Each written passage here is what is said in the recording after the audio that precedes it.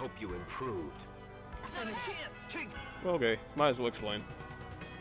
Thanks to the toy weapons on New Game Plus, you can actually not have to die here. He's actually really, really fast now that you have all this extra power. Lloyd being dizzy is not going to actually affect anything.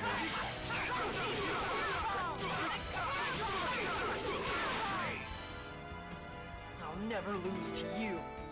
What did I tell you?